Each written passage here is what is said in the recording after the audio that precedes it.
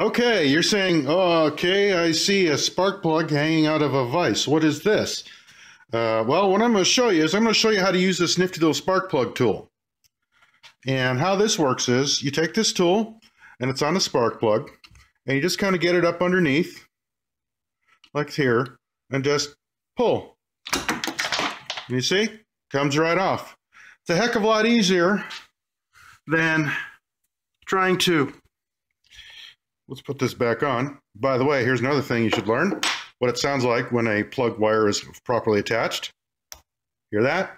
You felt it, you could feel a little snap.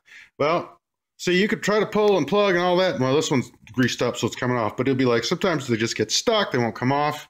But with this thing, it lets you get the thing off without damaging the plug or the wire. Just boom, and it's done. So there's that.